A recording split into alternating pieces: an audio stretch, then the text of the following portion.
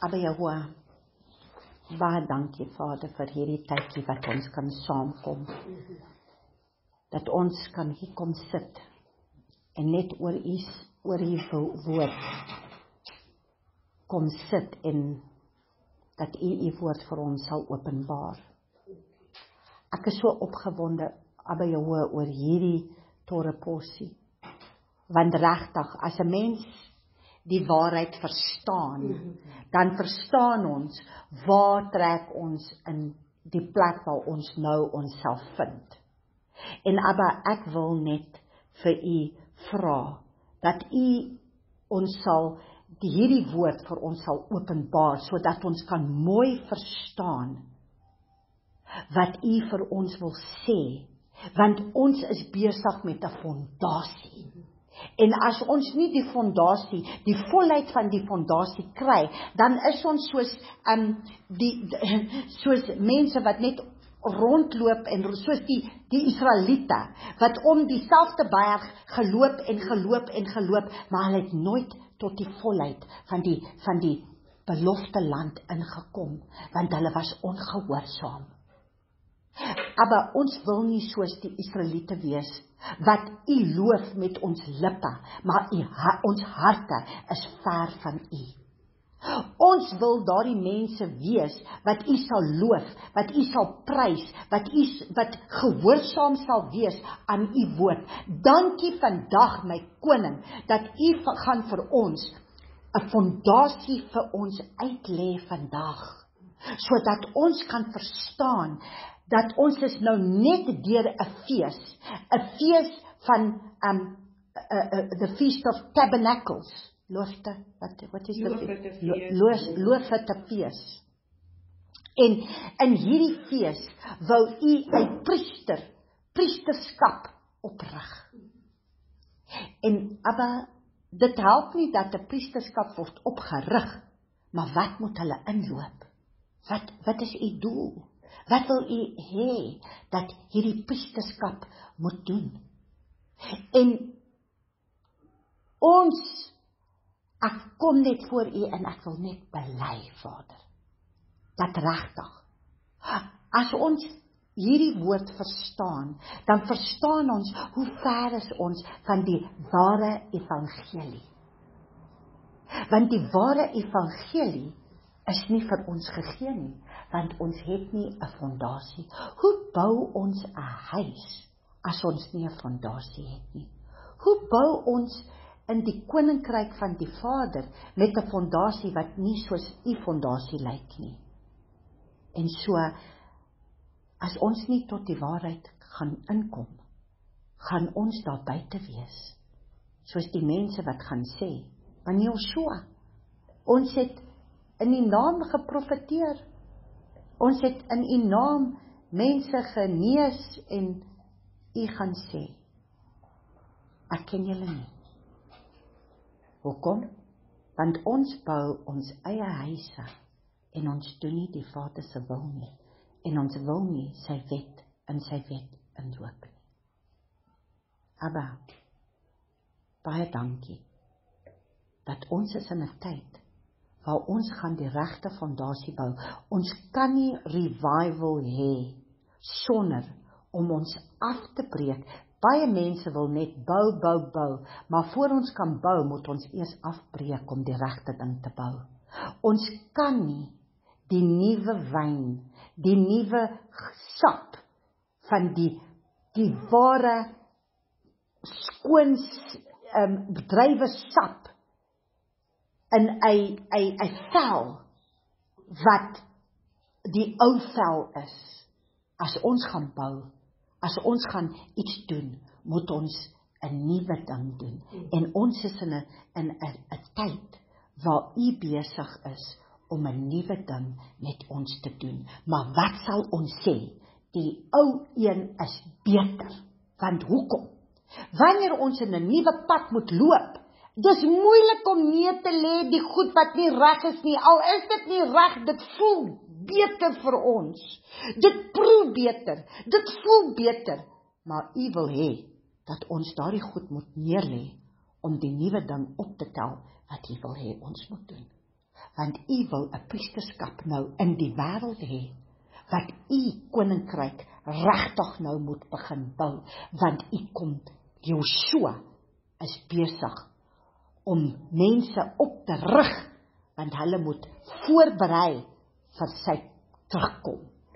En so Abba, ek dankie dat u sal die woorde in my mond sit wat ek moet vandag preek, dat u my sal lei en dat u ook die naprediker sal wees in ons lewens sodat ons kan net nie daardie mense wees wat die hoor die woord maar ons gaan dit uitloop in Joshua se naam. Help my vandag om hierdie Afrikaanse tel, taal te kan praat in 'n verduideliking wat almal sal verstaan wat U wil sê in Joshua se naam. Halleluja.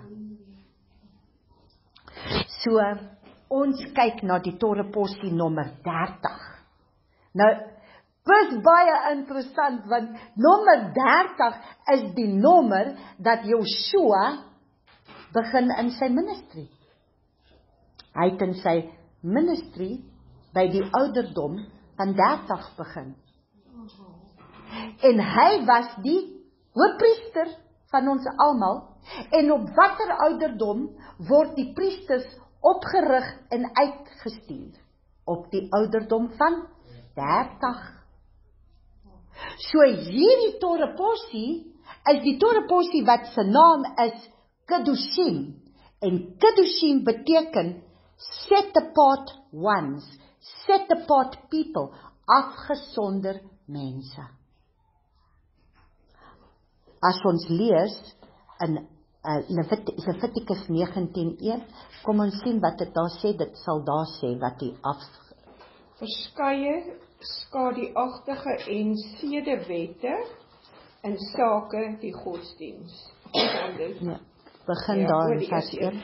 Verder het Jahoua met Moses gespreek en gesê: "Spreek met die hele vergadering van die kinders van Israel en sê vir hulle: Heilig moet julle wees, want ek, Jahoua, julle Aloha, is heilig." So. Hier is dit wat dit is. Heilig moet julle wees. So dis die afgesonde mense, dis die heilige mense. So ons kry altyd die betekenis van die Torrepossie in vers 1 wanneer ons die Torrepossie begin. Daar's altyd die naam. Die naam begin in die eerste vers. So wat daar geskryf is in die eerste vers is die Torrepossie wat ons besig is. En hierdie Torrepossie is van Levitikus 19 vers 1 tot Levitikus 20 vers 27.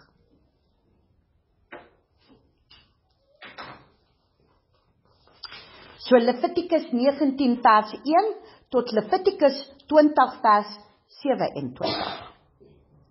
En dan die Haftorah, die profete, wat is die die Torahpossie van die profete? Amos Is dit Amos? Amos. Amos 9 7 tot 15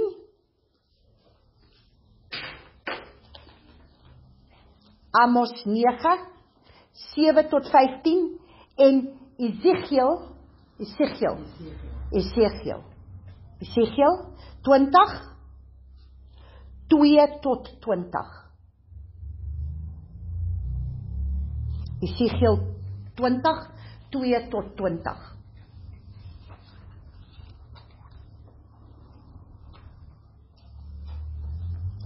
So mis lees net daar vir my ook vir jou eh, in jou Bybel Levitikus 19 Levitikus 19 vers 1 wat sê joune in vers 1 die die vers die opskrif was ek is die Here julle God. Die Here het vir Moses gesê praat met die hele gemeente Israel en sê vir hulle wees heilig daar want ek die Here julle God is heilig OK so wees heilig. So hierdie hele Torrepossie gaan praat oor die heilige mense. En wat beteken dit om heilig te wees? So dit is die set apart ones. Dit is die heilige mense. Dis die afgesonder mense. En so ons gaan nou sien ons Messias was 30 jaar oud toe hy sy ministry begin het. Die priesters is 30 jaar oud toe hulle uitgestuur is om hulle ministry te doen. En dit is tot 'n posie nommer 30.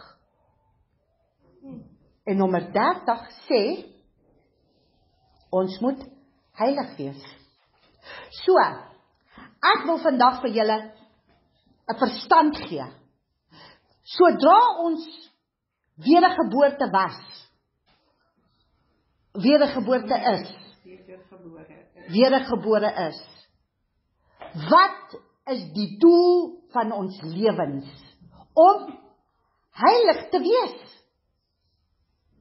Maar die probleem is ons is gered, maar dan wat gebeur? Ons gaan kerk toe, wat leer ons in die kerk?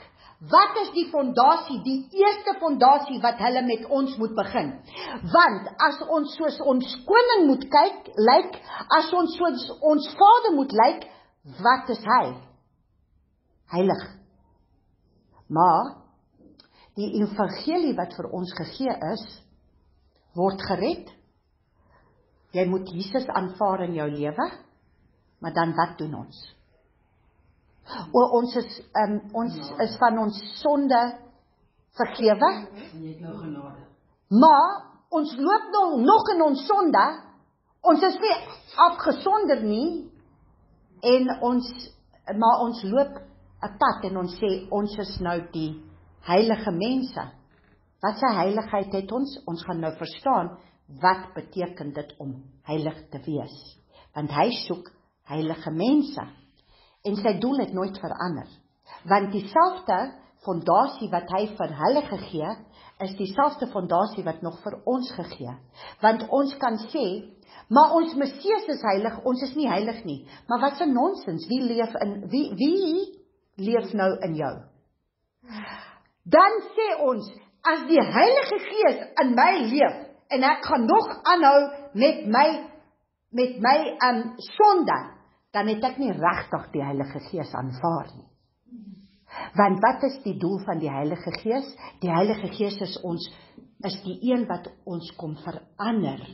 En ons is besig om te verander om van glory to glory. Heerlikheid tot heerlikheid. Heerlikheid tot heerlikheid ons moet verander. Maar ons kom nou en julle gaan vandag verstaan. Ons moet Abba gee my die genade wat ek het om hierdie torrepossie my mooi uit te spreek en uh, uh, oor te dra, oor te dra. Soos die water wat moet kom, laat die water vloei. Kyk, so ons gaan nou begin. So as ons nou sien, hy praat hier in vers 1 en 2 lees weer vers 1 en 2 vir ons asseblief. Spreek met die hele vergadering van die kinders van Israel en sê vir hulle: Heilig moet julle wees, want ek, Jehovah, julle Elohim, is heilig. OK, so daar praat hy klaar van heiligheid. Waar begin die heiligheid? Waar begin ons om heilig te wees? Kom ons sien. Nou Dit dan sê ja, maar dit is in die Ou Testament. Nee, dit is nie. Kom ons gaan lees dit eers. Kom ons gaan sien eers in Levitikus. Kom ons gaan kyk Levitikus. Eers gaan ons kyk Levitikus 11 44 tot 45. Julle gaan sien hoeveel keer is hy besig om te praat hierdie selfde ding. In Levitikus 11 Dit was die laaste eh, die laaste eh, twee vorige torrepossies 11 44 tot 45 lees daar vir ons asseblief want ek is Jehovah julle Elohim toon dan dat julle heilig is en wees heilig want ek is heilig.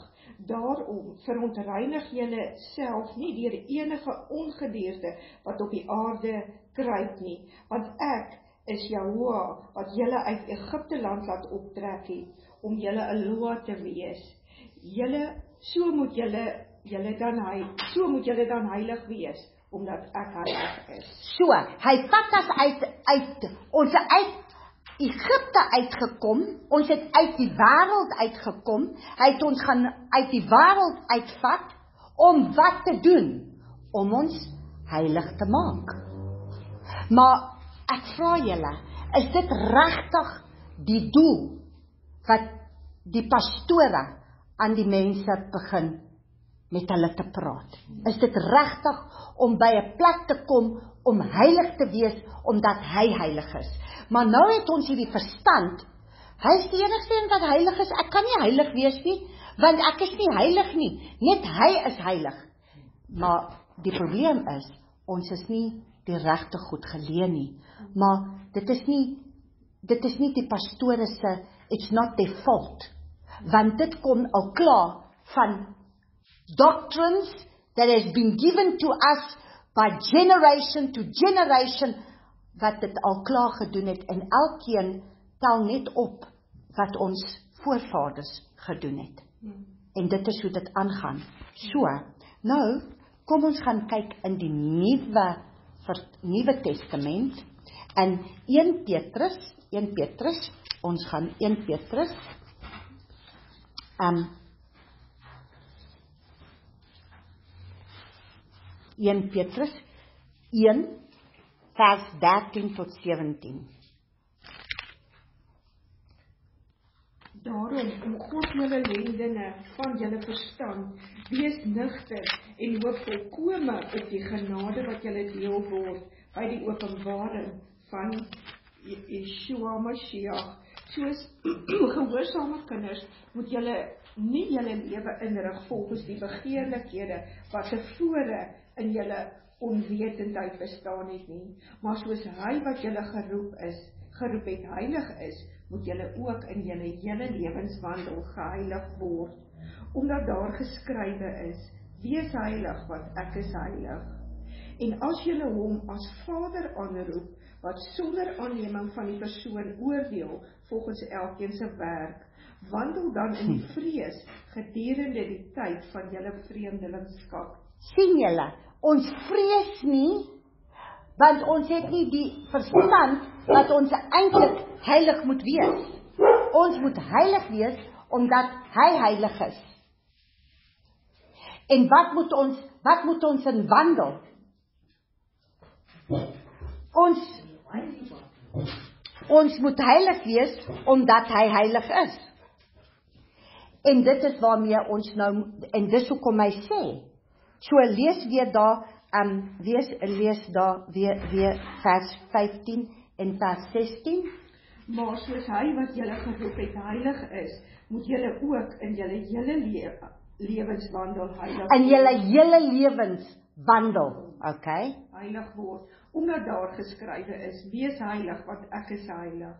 Dan vers 17 sê weer, kom ons lees dit weer. En as jy hom as Vader aanroep, wat sonder aanneming van die persoon oordeel volgens elkeen se werk, wandel dan in vrees gedurende die tyd van julle vreemdelingskap. So Jesus nou in hierdie tyd en ons moet die Vader vrees. En dit is die vrees van die Vader wat ons die wysheid gee om heilig te begin word want ons het nie die vrees van die Vader. En omdat ons nie die vrees van die Vader het nie, ons word nie heilig nie. Want daar's nie die vrees nie. Want ons het gesê, "O nee, julle is gered. Julle gaan hemel toe en alles is oukei. Okay. Julle kan maar aangaan soos wat julle wil, want die Vader is hy, hy gaan hy gaan want julle is nou onder die genade." Dis reg. Okay, maar ons gaan nou nog 'n skrif lees. Kom ons gaan nou Hebreërs net bietjie voor, voor, voor, voor. Hebreërs 12.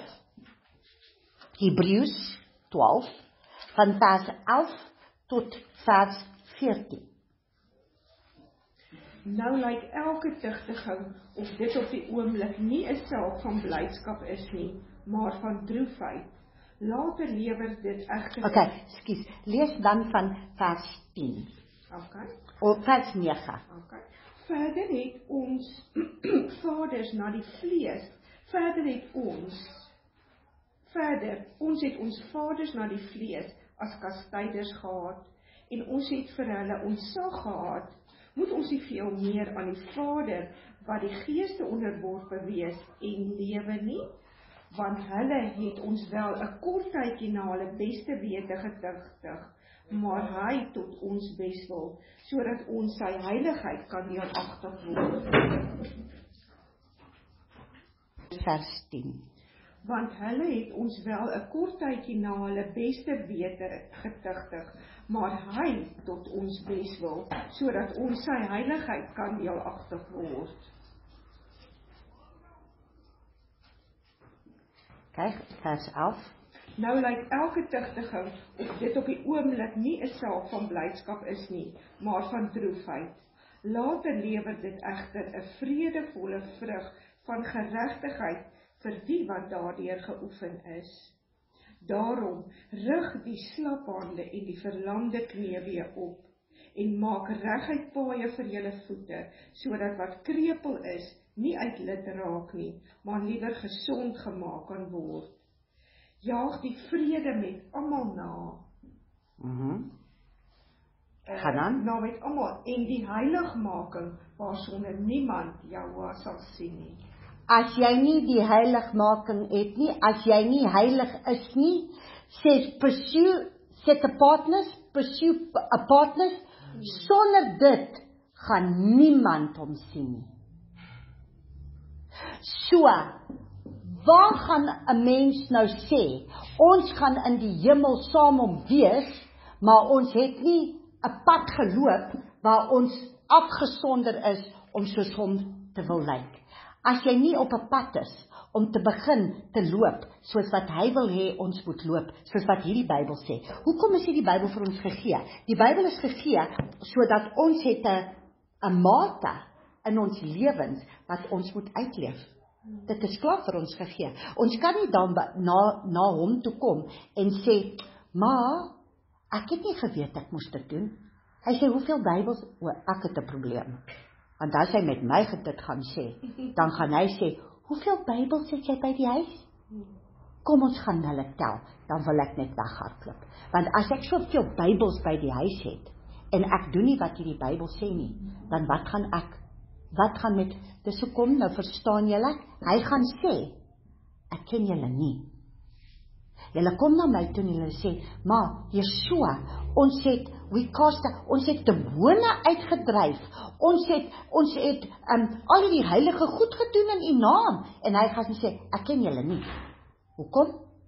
Want julle is onwettig. Is dit nie wat die Bybel sê? Kom ons gaan lees Matteus 7. Ek praat nie net van my kop nie, ek praat van wat die Bybel sê. Want ons is besig om die regte fondasie hierso te bou. En na vandag gaan julle verstaan wat is die regte fondasie. Kom ons lees van Matteus 7 van vers 21 tot vers 23. Nie elkeen wat vir my sê wat wat sê ons daar Here Here? Ehm Master, Master of Yeshua, Yeshua. Ja, nie elkeen wat vir my sê Yeshua, Yeshua sal ingaan in die koninkryk van die hemele nie, maar hy wat die wil doen van my Vader wat in die hemele is. Baie sal in daardie dag vir my sê, Yeshua, Yeshua, het ons nie in U naam geprofeteer en in U naam duiwels uitgedrywe en in U naam baie kragte gedoen nie. Dan sal ek aan hulle sê, ek het julle nooit geken nie. Gaan weg van my, julle wat ongeregtigheid werk. Julle wat onwettig, ander Wetteloos. ja, wetteloos. Ander vertaling sê wetteloos. Ja. So ons kan maar sê wat ons wil sê. Abba is besig om 'n fondasie vir ons te gee, want ons gaan verstaan. Ons word gered, wat was die doel? Maak hulle om 'n pad met die Vader te loop, want hulle moet weet wat wat het hulle verloor? Wat het ons verloor? Hoekom moet ons hoekom he, hoekom was ons mense wat gesondig het? Kom ons gaan lees in Wel, Abba het sy eie boodskapie vandag. Kom ons gaan lees 1 Johannes 3 vers 4.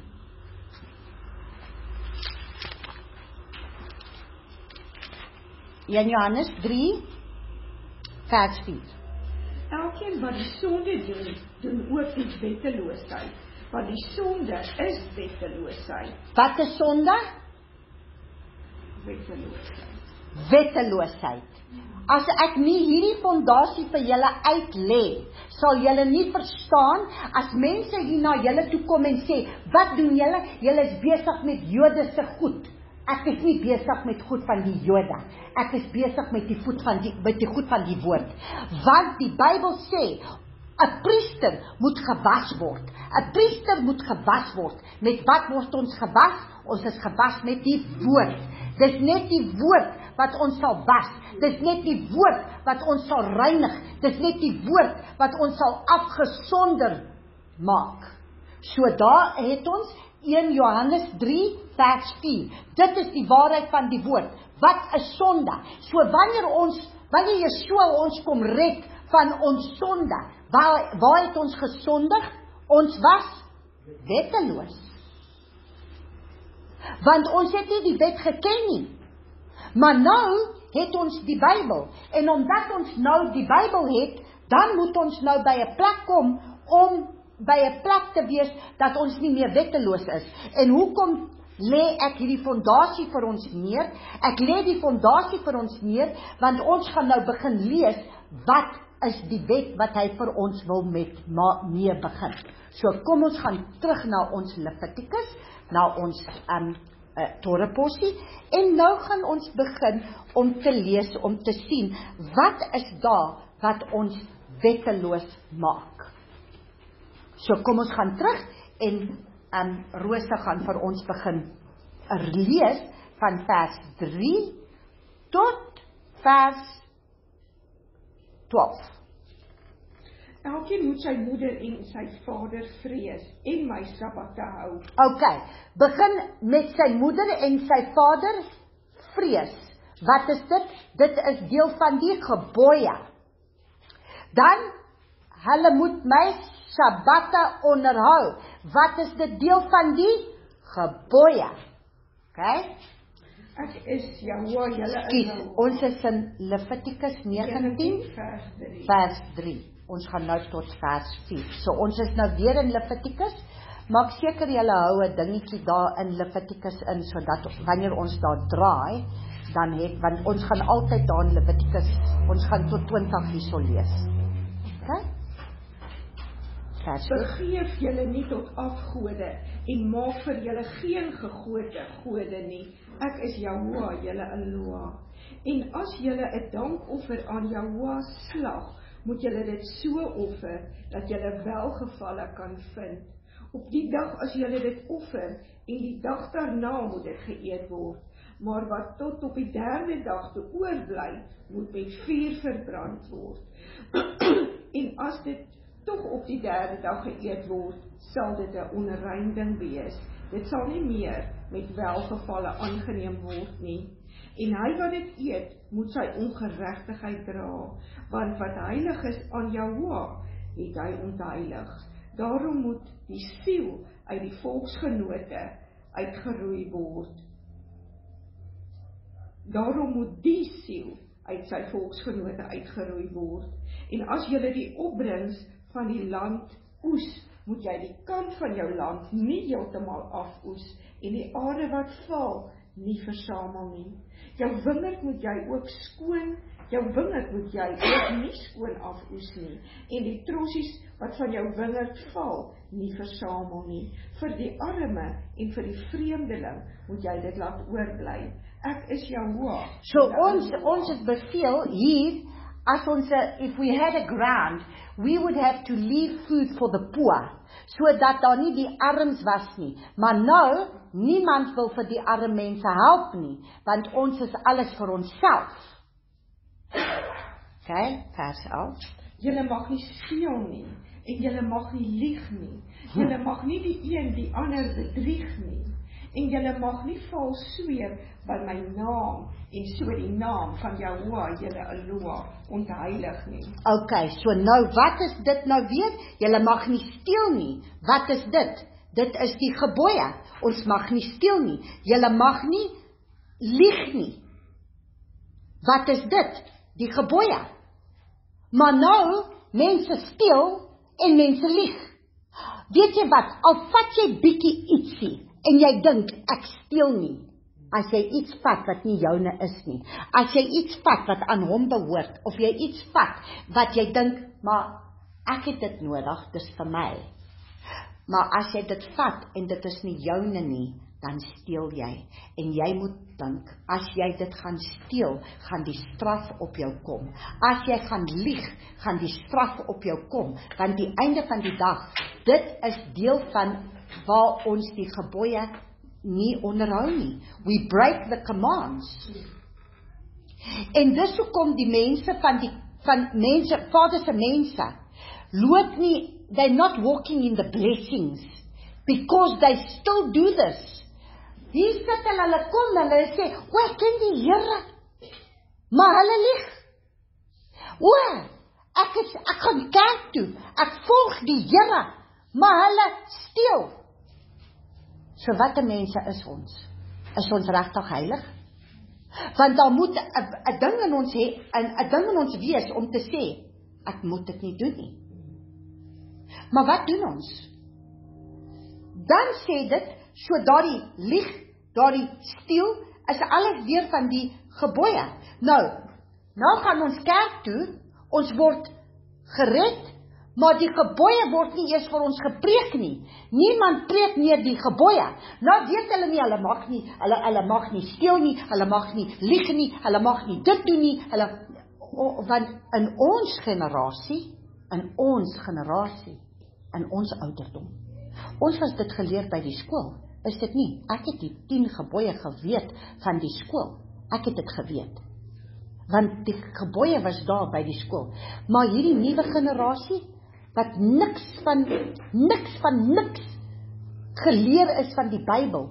Hoe gaan hulle weet wat is die 10 gebooie? Hoe gaan hulle weet hulle mag nie lieg, hulle mag nie steel? Hoe gaan hulle dit weet as niemand dit vir hulle gaan sê nie? Hoe gaan hulle weet? So nou as dit hierdie nuwe generasie, hulle kom kerk toe, maar hulle word niks gepreek nie van sulke goed en nou word hulle groot, maar hulle doen nog hierdie goed want niemand het dit vir hulle geleer nie, want ons gaan nie terug na ons fondasie in ons Bybels nie. Want nou as julle nou vir my sê, maar ek is ek ons is in die kerk, ons volg die Vader, want ons doen alles wat hy sê, want ons onderhou die gebooie, ons onderhou ons steel nie, ons lieg nie, ons ons eer ons moeder, ons vader, ons ons doen al hierdie goed. Maar wat van die goed van waar hy sê jy moet my Sabbat onderhou? Maar nou, wat het die duiwel gedoen? Die duiwel het gekom en gesê verander die Sabbat van die van van die Sondag tot die van die Saterdag tot die Sondag. Maar wat doen ons nou? Ons is ongehoorsaam. Maar nou dink ons ons is heilig want ons loop in iets wat ons doen. Maar daardie heiligheid is jou werke. Dis nie die goed wat moet waar jy um it's not obedience. It's your works because obedience is obedience to the word. En jy kan nie byvoeg wat nie in die woord is nie. Wat sê die woord? Jy mag nie byvoeg. You cannot add You cannot take away. You cannot add to the word and decide to make your own day of when you will worship him. Dit mag jy nie doen nie. Hy het klaar gesê 7 dae het hy um 6 dae het hy gewerk, die 7de dag was die Sabbat. Wie het dit verander? In my taal was die Sabbat Sabbath wat 'n Sabbat wat die Saterdag is gaan na die land toe waar die mense is wat sy mense is en dan is daar nie daar is nie there's no confusion wanneer die Sabbat is, dit is op die Saterdag. Maar wie het dit verander? Maar nou dink ons ons loop heilig voor die Vader. Want ons onderhou al daardie ander gebooie, maar die Sabbat doen ons nie. So wat doen ons? Ons is nog ongehoorsaam. Ons is nog hmm. ongehoorsaam. Dan kom ons by nommer 12. Do not swear falsely by my name, and do not profane the name of the Lord. I am Jehovah. Ooh, ooh, ooh, ons het baie hier oor gepraat oor die naam. Want dit is die derde gebod oor die naam. You are not to profane the name. Okay, kom ons gaan kyk nou. To profane means to make it unholy. It's to make it common. It's to profane it from its origin. So dit wat oorspronklik is, het ons verander. Nou ek vra julle. In die oorspronklike Bybels, oorspronklik van die begin, was die Vader se naam daar binne. Nou vat hulle Abba se naam meer as 8000 keer uit die Bybel en sit Lord, vat sy naam uit en sit God, vat sy naam uit sit Here en nou wat het ons gedoen? Maar nou wil almal vir my sê, dis nie belangrik nie, want in die Bybel sê dit sy naam is Here, is dit regtig sy naam? Dit is 'n titel, wat is nie sy naam nie. Ons het dit verander. Die mense wat die vertalings gedoen het, het verander met 'n doel. Wat was die doel? Vergeet sy naam. Wat was die doel? Word ongehoorsaam aan sy gebod, die derde gebod. Wat sê? Do not profane my name. Do not make it common. Do not bring it to nothing. So what does it mean to profane? To profane means it is to dissolve its meaning. Listen, It means to dissolve its meaning that it no longer looks like the original. It is no it it it's like as jy as jy water, as ek hierso water het. As ek suiker daarin sit, wat doen dit? Dit verander die smaak van die water. As ek sout insit, verander dit die smaak. Dis nie meer water nie. So elke keer dat hulle sy naam van die Bybel uitgehaal het, wat het hulle gedoen? Hulle het nou die oorspronklik uitgehaal en hulle het dit verander na 'n ander smaak. So nou kan ons nie bid, ons kan nie sing ons sê sy naam is heilig, sy naam is a strong tower. His name is a strong tower, maar ons sing nie eers die naam nie. Ons sing nou Here of ons sing nou Lord of ons sing nou God en nou gebruik ons daardie selfde naam God vir Allah, vir Boeddha, maar nou bring ons die Vader se naam saam met daardie titel. En nou noem ons hom Lord, maar dit is dieselfde naam dat ons noem vir 'n vir vir vir um, iemand wat grond landlord of 'n draglord of 'n draglord. Maar nou we profane it. We bring his name to nothing to common.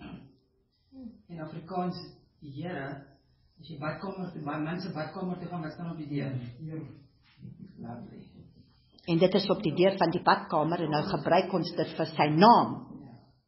Iets is iewers verkeerd.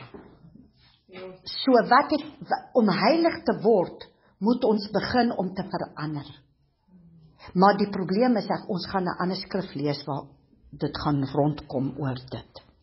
And they say, what you don't recognize, we no longer recognize it. So it says, it alters the taste of the water. You don't recognize it. You make it common. Lord God makes his name common. Want dit is nie meer sy naam nie, dit is nou 'n titel. Hulle maak dit weer familier. Dis reg en dis hoekom die heiligheid is nie meer daar nie. Die vrees van die Vader is nie meer daar nie, want daardie daardie selfde woord word gebruik vir ander goed. Maar dis kom die skrif sê, my mense sal my naam ken. So jy sy Wie is sy mense? Jesaja 52 Jesaja 52 vers 6 sê my mense sal my naam ken in daardie dag.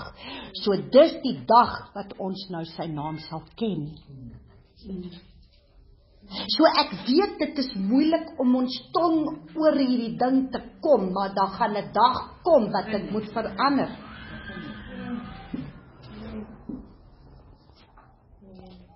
OK. So dit is wat dit beteken om te profane. Dis die naam halal, dit is halal. Die profane beteken halal wat beteken om die dit te verander. So wat het hy sê? You profane my name. Dit is wat hulle gedoen het. En dan sê you defiled my name. Wat beteken defile? Dit dit beteken om dit onrein te maak. It means to make it unclean. is onhe onheilig. Onheilig. Okay, and then defile is to defile Tamai, it's to be unclean, to become impure, to pollute, to contaminate. So we need to be set apart in character of the name. So as ons die naam ken, daardie naam is heilig en ons karakter moet wees soos daardie naam van daardie persoon, want dit is die karakter van die naam. As jy vir my jou vader gaan voorstel, hy het 'n naam. Wat voorstel julle as julle vader? As jy met 'n moslim praat en jy sê dis my vader, hulle gaan sê wat se vader? Wat is jou God se naam? Want my God en hulle noem hom God het 'n naam. Dis die naam. Wat is julle God se naam? O, dis Here. Nee. Dis nie Here nie, dis nie 'n naam nie. Dis nie Lord nie want dis nie 'n naam nie. Dis nie God nie want dis nie 'n naam nie. Dis 'n naam en sy naam is Jehovah. En die probleem is in toe sy naam weggevat is van die Bybel, het sy heiligheid ook weggevat want hy het nou made dit 'n common. Kan julle dit verstaan? Ek weet baie mense wil nie hierdie hoor nie. Maar in die woord. En ons is besig om tot die heiligheid te kom. Hy sê: "Wees heilig soos ek heilig is." En as hy sê in die commands, "Don't take my name in vain." Ons het gesê dit is om te sê, "Ooh, dit is 'n vloekwoord." Dit is nie wat dit beteken nie. Dit beteken nie soos 'n vloekwoord. Dit beteken to make it profane, to make it vain, to make it common, to make it unholy. En nou spreek ons dieselfde naam wat heilig is wat sy wat ons sê hy's God, maar dan gebruik hulle dieselfde ding vir God wat die Mohammed is. Verstaan julle? Jy kan dit nie doen nie. Ons moet nou ons moet nou reinig begin word want die priesters word opgerig om die waarheid vir die mense te praat. Ek dink ons moet bid soos soos soos die profete gebid het, "Aba bring jou koel vuur op my lippe." Dat my mond kan begin praat wat ek moet. So if we defile the name, we will be unclean. You cannot Okay. Ons kan ook nie daardie naam op ons lippe vat, maar ons karakter is nog nie soos daardie naam nie. Dis 'n ander probleem.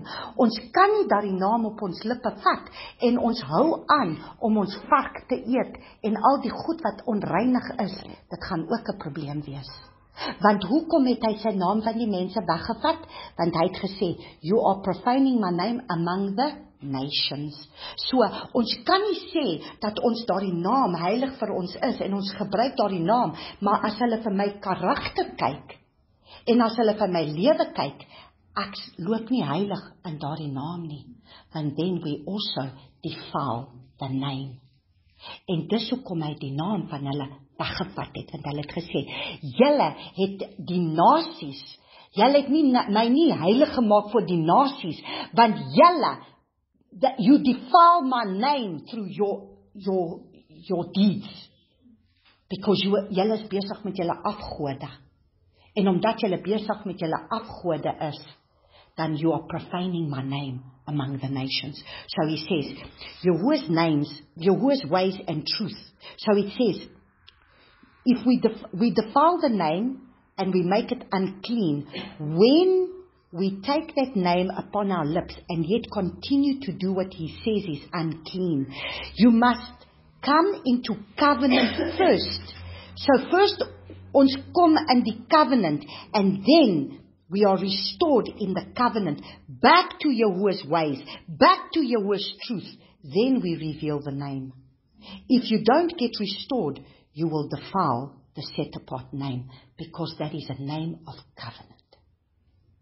Vir die verbond. Dis 'n naam van mense wat in verbond is. Sodra ons die verstand het van die verbond, En as ons begin terugkeer na die verbond, dan kan ons daardie naam dan sal daardie naam heilig in ons reinig wees, want ons loop uit daardie karakter van daardie naam. Maar ek kan nou vir julle sê, ons kan nie daardie naam wil gebruik, maar ons hou aan in dit wat nie reinig is voor die Vader, want dit gaan ook nie werk nie.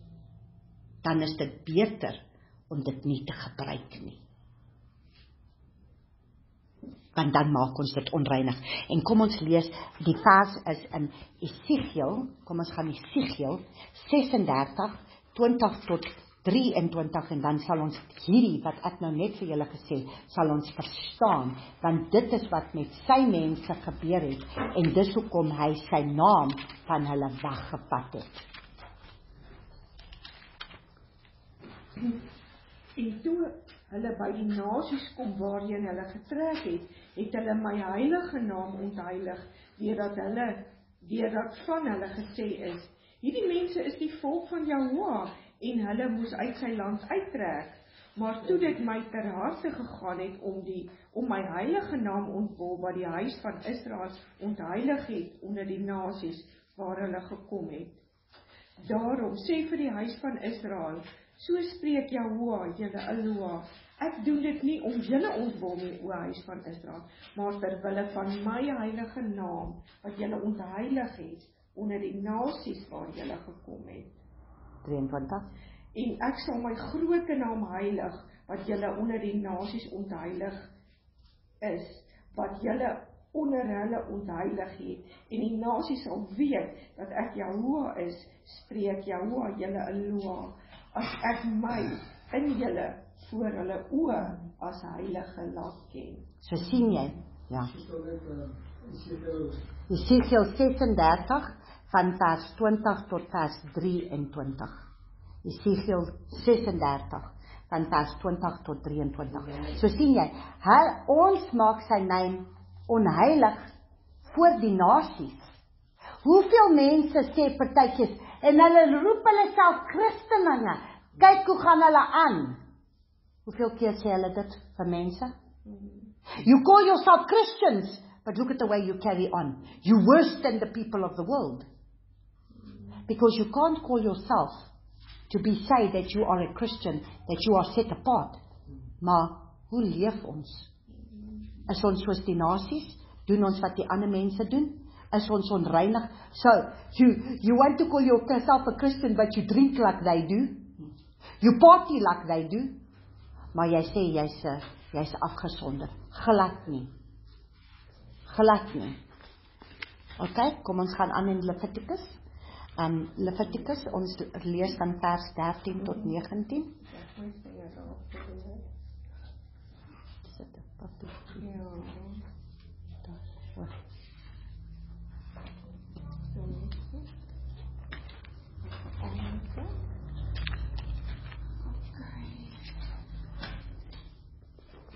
Jy mag jou naaste nie verdruk of beroof nie. Die dagloner se loon mag jy wat jou nie tot die môre mag nie tot die môre toe bly nie. Jy mag 'n dowe nie vloek nie en voor 'n blinde geen struikelblok lê nie, maar jy moet jou waag vrees. Ek is jou waag. Jy mag geen onreg doen in die reg nie. Jy mag vir die geringe nie partydig wees en die aansienlike nie voortrek nie. Met geregtigheid moet jy oor jou naaste oordeel. Jy mag nie as 'n kwaadspreker onder jou volksgenote rondloop nie. Jy mag nie teen die lewe van jou naaste optree nie. Ek is Jehovah. Jy mag jou broer in jou hart nie haat nie.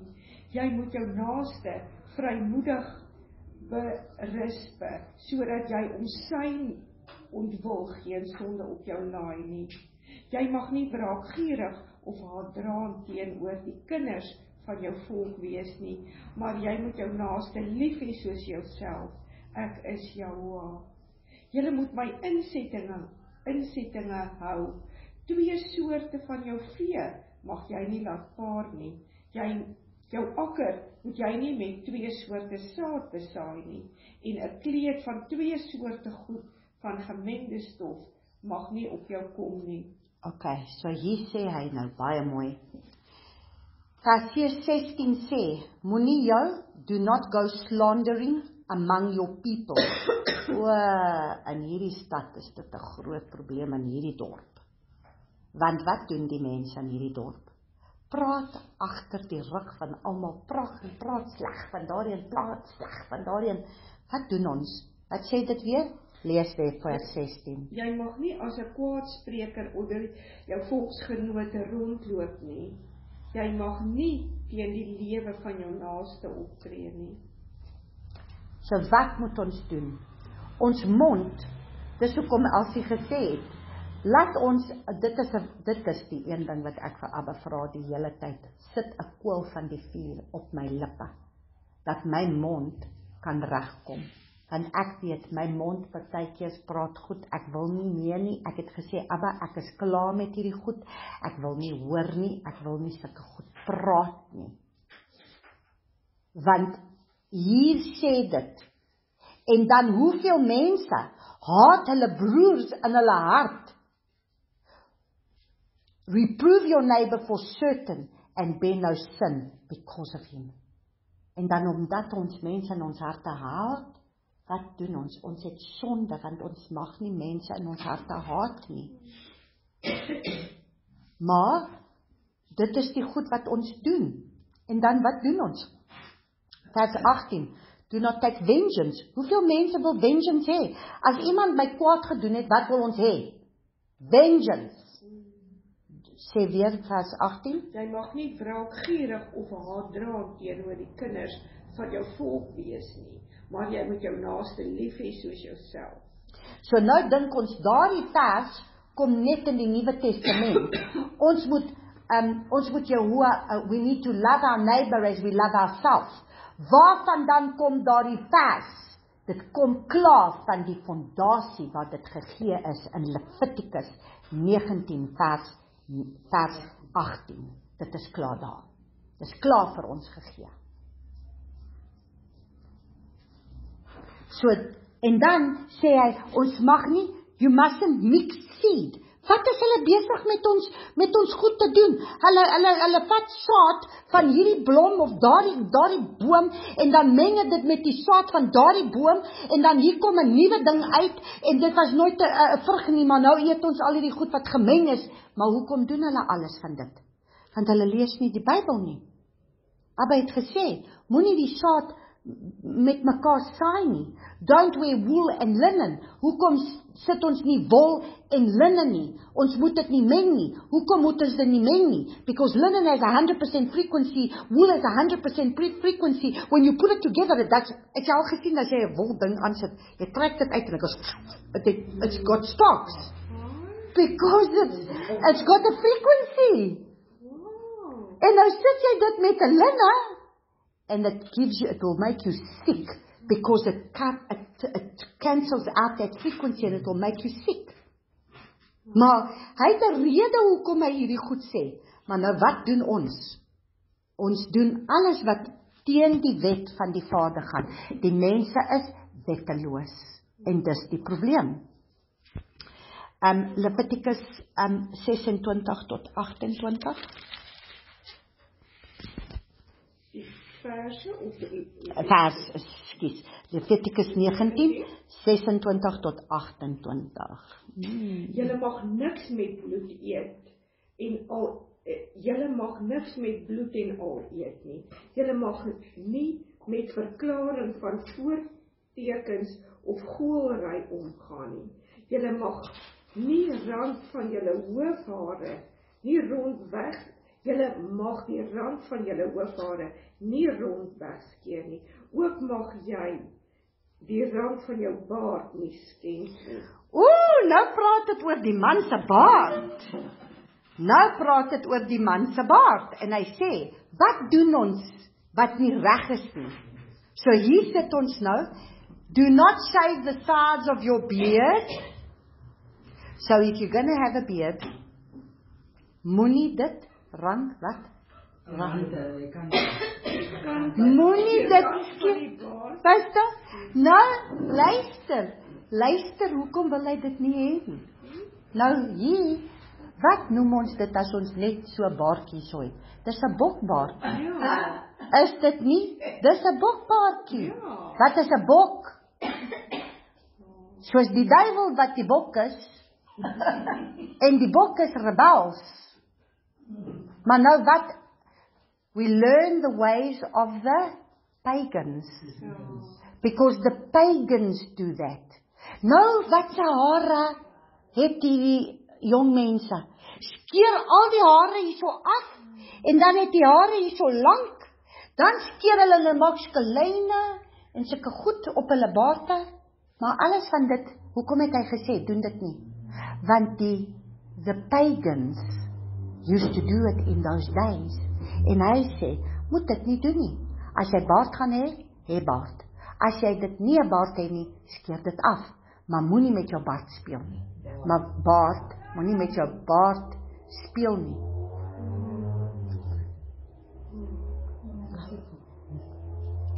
So, nou verstaan ons as die Vader sulke goed sê, hoekom sê dit? Hy sê dit nie dat ons lelik moet wees, dat dit le want hy sê wees reinig.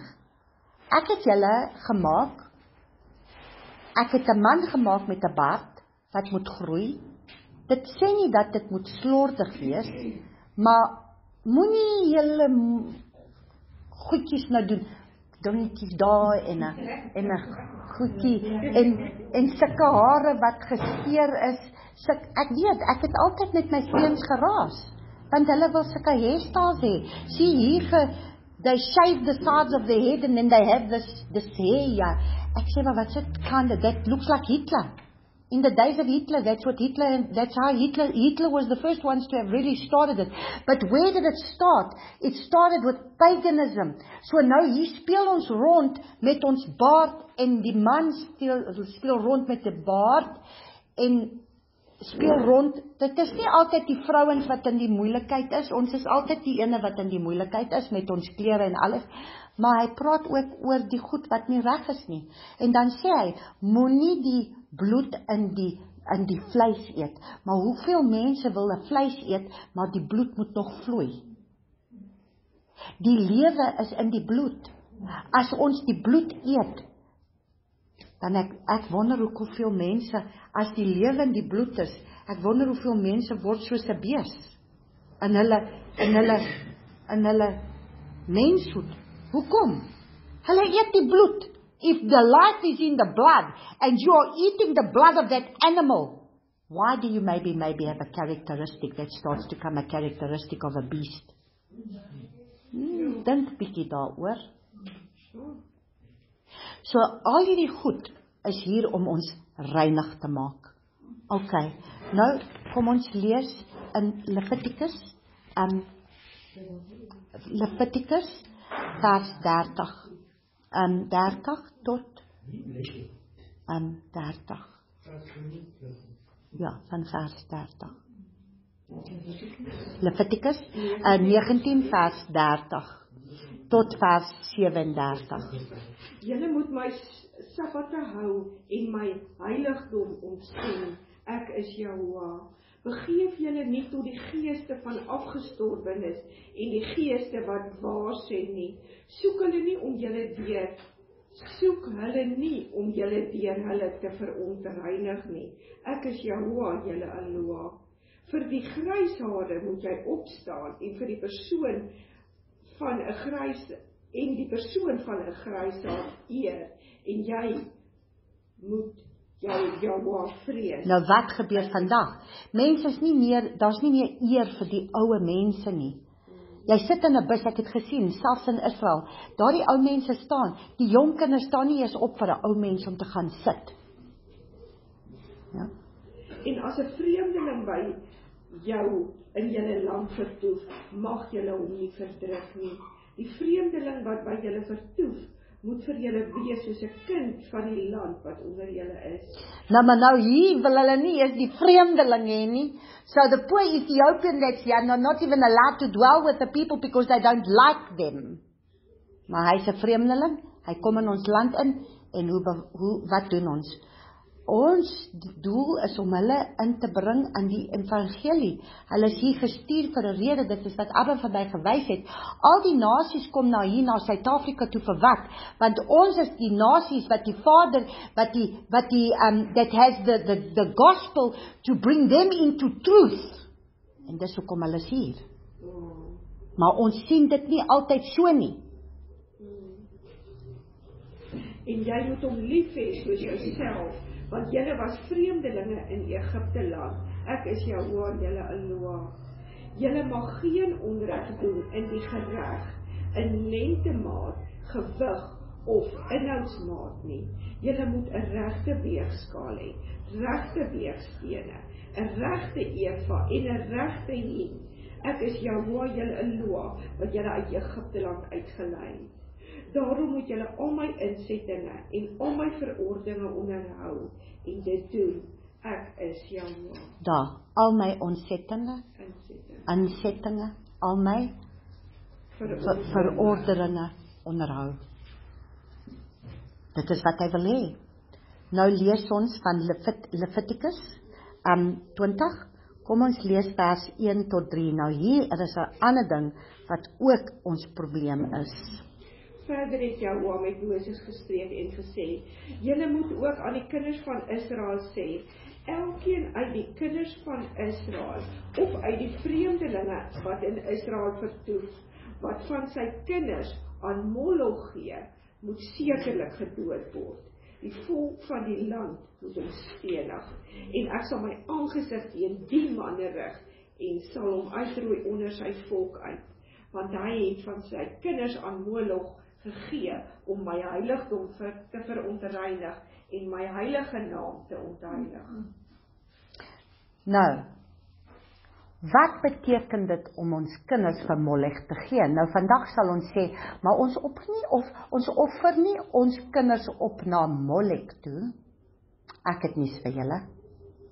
Elke keer dat ons aborsies doen, 'n abortion. An abortion is offering our children to Molech. Contraceptive things that are like especially the contraceptives where they put something within you to not have the little egg having to go and mark itself fuss on the womb, it becomes an abortion. How many abortions have we had that every single one of those children are being offered to Molech because it was part of child sacrifice? So all these abortions is deel van kinder uh, so now we want to accept it in our nation Kindermoord, ja. kindermoord no laat hulle nou they actually allowing it until it's 9 months at 9 months a woman is still allowed to have an abortion nou wat al daardie kinders is opgeoffer na Molek. En ons moet bely if we have done all this other stuff if we've had an abortion dit is nie dat die Vader ons nie kan vergewe nie. As die goed is wat gebeur het in ons lewens if we took contraceptives like having this um tea en al hierdie goed wat in ons was that came to remove the baby that couldn't fit come so Ek moes baie bely want ek het daardie ding in my gehad. Maar 'n mens ken nie van sulke goed nie. Maar al daardie goed wat gebeur het is all part of offering your babies to Molech. Maar die mense ken nie van dit nie. Nou staan ons hier en ons sê, "Maar ons offer nie ons kinders op vir Molech nie." O ja, ons doen. Want that same spirit is still the same spirit that's there today. It's not a different spirit. We're still offering it up to this God. Because it's the God of this child sacrifice. And all this, julle, julle weet, al die abortions, hulle vat die bloed, hulle vat die goed van die babatjies en hulle gebruik dit in gremering, hulle gebruik dit in al die goed. It gets used in cosmetics, it gets used in Hulle gebruik dit in in in vaccinations. Dit dit word gebruik in al hierdie goed. Dit is wat dit ge, word gebruik vir dit. Maar nou hier staan 'n mens nou en ons sê, "Oké, okay, nou Vader, wat gaan nou hier aan?" Maar ons doen dit nie. Ons het dit nie gedoen nie. Maar we partake of the stuff. Wanneer Abba vir my gesê het om my om die gremering nie meer op my gesig te sit. Dit is wat hy vir my gewys het. Wat sit jy op jou gesig? Wat word gebruik daar? Nou gaan hierdie mense, hulle gaan hierdie botox doen om hulle lippe groter te maak en al hierdie goed, maar wat gaan daarin? Baie van hierdie goed is van die babetjies wat doodgemaak is. Wat opgeoffer is na Molek. Um Okay, kom ons lees Levitikus um 20 van vers 7 tot vers 8. Toon dan dat jy heilig is en wees heilig, want ek is Jehovah, julle Eloah, en onderhou my insettinge en doen dit. Ek is Jehovah wat julle heilig. Halleluja. Lees net vers 6.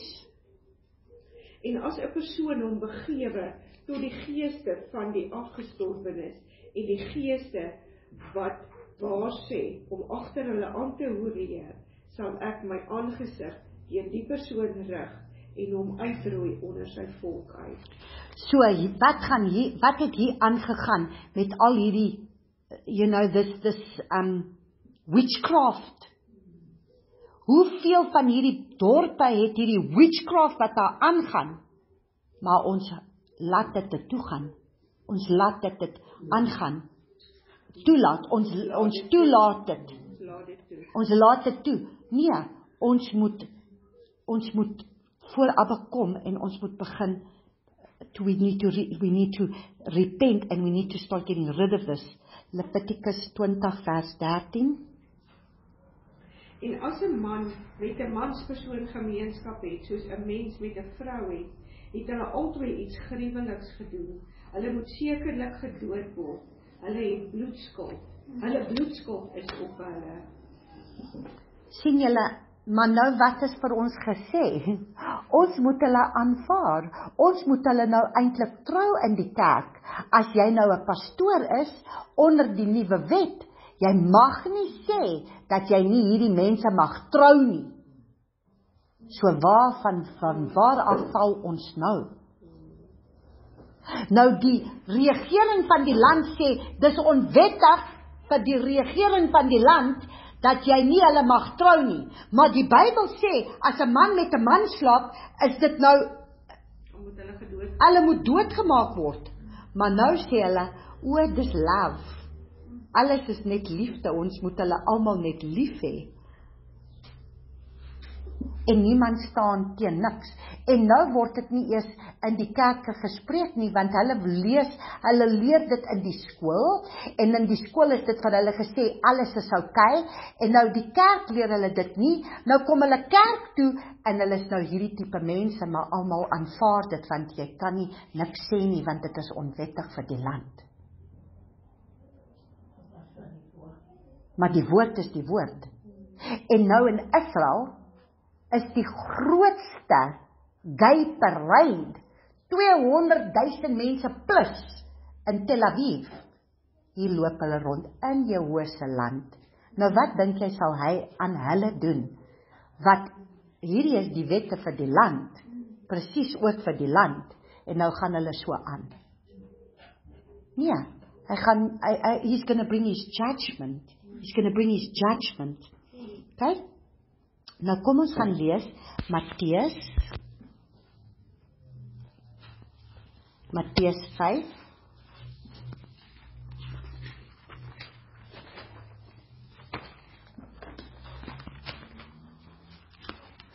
Wa. Kom ons maak skies, skies. Kom ons maak eers klaar met uh, Deuteronomy. Ons maak eers klaar. Kom ons maak klaar met vers 22 tot vers 26. Laat ons eers klaar maak en dan gaan ons Matteus toe skies julle. Dit nou by Levitikus. Ja, Levitikus 20 van vers 22 tot 26 dan maak ons Levitikus klaar dan begin ons met ons Nuwe Testament. Ja. O, ek het Deuteronomy. O nee, skies julle. Levitikus 20 22 tot 26 maak ons klaar. Onderhou dan al my insettinge en al my verordeninge en doen dit dat die land waarheen ek julle bring om daarin te woon, julle nie uitspieg nie en julle mag nie wandel in die insettinge van die nasie wat ek voor julle uitverdrywe nie, want al hierdie dinge het hulle gedoen. Daarom het ek 'n afskeid van hulle gekry en ek het vir hulle gesê, julle sal ehm um, julle sal hulle land in besit neem en ek sal dit aan julle as 'n besitting gee, 'n land wat oorloop van melk en honing. Ek is Jahua, julle Eloa, wat julle van die volke afgesonder het. Daarom moet julle 'n onderskeid maak tussen die rein en Mm. onrein diere Mhm. en tussen die onrein en rein voëls en maak julleself nie 'n gruwel deur diere of deur voëls of enigiets wat op die aarde roer nie, want ek het want ek wat ek vir julle afgesonder het deur dit onrein te verklaar en julle moet vir my heilig wees want ek is Jahua want ek Jahua is heilig en ek het julle van die volke afgesonder om myne te wees Vers 27. En as daar 'n man of vrou 'n gees van 'n afgestorwene is of 'n gees wat waar sê, moet hulle sekerlik gedood word. Hulle moet gestenig word. Hulle bloedskuld is op hulle. Maar nou laat ons hulle toegaan that they even come in parliament and do all their witchcraft and we stand and we can accept everything in hierdie tyd van die Bybel was word hulle doodgemaak. Maar Joshua het hulle nou vergewe, maar ons moet bid tot hulle tot bekering moet kom en hulle moet repent soos wat ons hier in ons dorp doen. Ons bid en ons bid en ons sê, Abba, of hulle tot tot bekering of vat hulle uit van ons plek uit wat hulle kan nie hier kom aanhou om ons um te te te te vloek met hulle vloeke. Want dit hy, in ons dorp hy wil dit nie hê nie. Maar kyk wat hy sê ons kan nie aanhou om die on, onreinige ding te eet. Dit wat onreinig is want hy sê moenie eet dit wat onreinig is. Want as okay nou ek gaan vir jou vra ek gaan vir jou vra okay so as jy nou die tempel is van die Heilige Gees van Joshua van Abba Vader se tempel hoeveel keer het julle al gelees van die onreinige goed wat hy wil hê jy moenie eet nie? Hoe gaan hy in jou tempel wees met al hierdie goed wat hy sê? Hy wil dit nie in sy tempel hê nie. Hy wil dit hy sê dit is onreinig. Hy sê it is an abomination. Maar nou gaan ons nou die tempel wees wat sy heilige heiligheid in ons sal dra as ons aanhou om onreinig te eet. Hoe is dit moontlik? Dan verstaan ons hoekom daar's nie krag nie. Waar's die krag? Waar's die krag van die Vader? Dat ons sien nie soos die disippels wat geloof het en hulle skadu weet die mense het die mense ges, genees. En die mense het het heel dem gen, gen, Genees. genees. Ons loop nie eers daar nie. Maar wat het hulle gehad wat ons nie het nie? Hulle het die wet. Hulle het die fondasie gehad, maar hulle het nie die Heilige Gees gehad. Maar toe hulle die Heilige Gees gekry het, wat het gebeur? Hulle skadu weer. Het die meer mense genees, maar wat het hulle gehad? 'n Fondasie wat ons nie het nie. Nou staan ons hier, nou sê ons, ons het ons is kragloos, Kragteloos. gra- kragteloos. Hoekom? Hoe kan ons krag hê as ons nie eers reinig is voor Abba? Nou wil ons hê dat ons moet hierdie heilige mense wees, maar hy sê moenie die onreinige ding eet nie, moet dit nie eet nie en hy- by daardie tyd was hulle nie die they were not the temple. Nou is ons die tempel. Hoe kan ons 'n tempel wees wat onreinig is? Hoe gaan hy nou daar leef? Ek wil ek vra julle net om daaraan te dink. My Vader, sal U tevrede wees dat U in my is, wat ek is U ek is die tempel.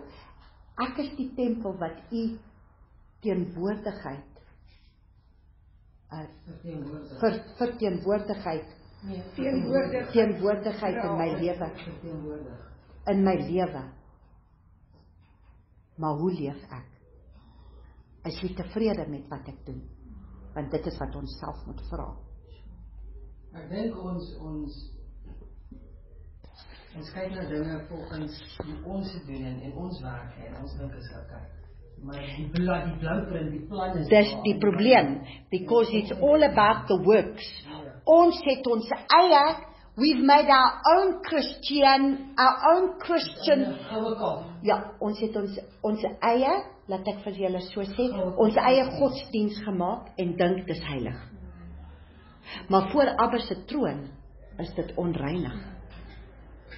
En nou, nou julle gaan mooi verstaan vandag hoekom ek vir julle gaan sê. There's going to be a great falling away. There's going to be a great falling away. Why is there going to be a great falling away? Because when the problems are going to come, we are not going to have a foundation.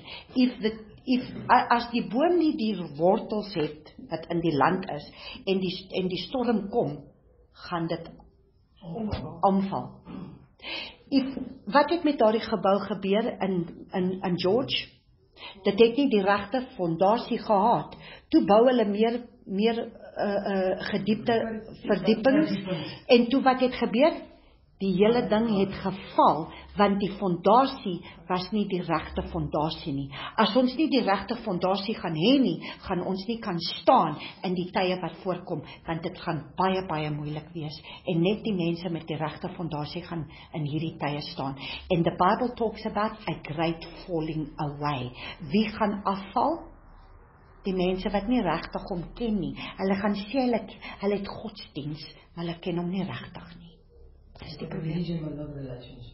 Dis die probleem. Ek dink ook in die Bybelse tyd as die mense sê nou maar soos twee man saam gekry het of wat ook al, is hulle dadelik gestenig en die oordeel het dadelik gekom, maar omdat Daar's genade. ons die genade gegee het, het ons die genade om reg te kan loop, maar daar is 'n oordeel aan die einde van Dis reg, die oordeel gaan nog kom. ons, ja. Maar hy oordeel ons nie heeltemal nou waar ons nou is. We're not being judged now because we are in the dispensation of grace. But when we stand before, remember, he's the lamb. Ja, ek dink daar's 'n daar's 'n daar's 'n sê ding wat gaan as die vonnis dadelik was soos jy Sondag. Ja. Dan sal dit baie anders Ja, ja, het. ja. Want jy dink jy kom nou weg met alles, jy dink jy's okay. So, if we are in the place waar if we were to get judged immediately, dan sal dit anders te wees. But we are in the dispensation of grace. The dispensation of grace is not lawless to do whatever you want. The dispensation of grace is he's given you the grace to repent. Maar want ons het die lam en die bloed was klaar uitgegee vir al die vir al die sonde. Ons hoef nie ons lam te bring, ons hoef nie ons dier te bring, ons hoef niks van dit te bring. Ons moenie ons hoef nie die opofferinge te bring. Maar wanneer die dag kom wat ons gaan daar staan, ons gaan voor wie staan? The lion of the tribe of Yehuda. En die leeu gaan brul and he's the one who's going to be the judge. En dan kan ons nie sê ek het nie geweet nie because the judge is going to judge us. Dis die verskil. OK, Matteus 5. Matteus 5. Kom ons lees van vers 43 tot vers 48.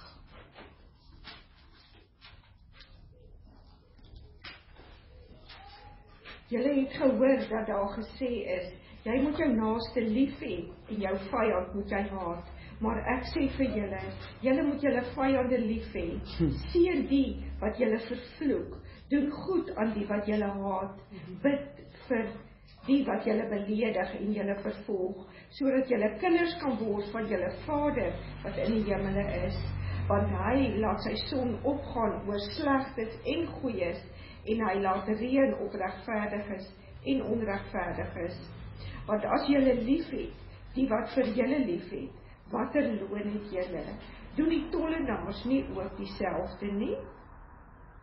En as julle net julle broeders groet wat besonder wat besonder doen julle wat besonder doen julle dan doen die tollenaars nie ook so nie wees julle dan volmaak soos julle Vader in die hemele volmaak is Nou sê hy wees volmaak.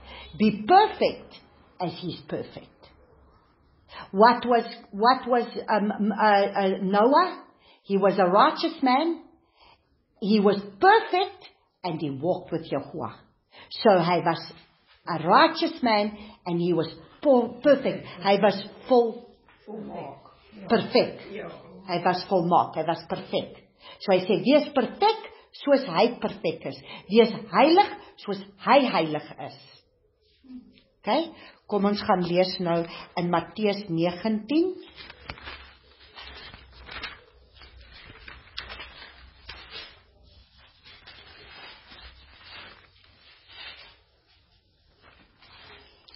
Matteus 19 van vers 16. Um Matteus 19 van vers 16 tot vers um uh, 24. Nee, tot 23. En daar kom een na hom en sê vir hom: "Goeie meester, watter goeie ding moet ek doen dat ek die ewige lewe kan hê?" So wat moet ons doen om die ewige lewe te hê? Hoor mooi wat Joshua sê. En hy sê vir hom: "Waarom noem jy my God? Goed. Niemand is goed nie behalwe een, naamlik Jahoua. Maar as jy in die lewe wil ingaan, onderhou die gebooie." So wat moet ons doen om die ewige lewe te hê?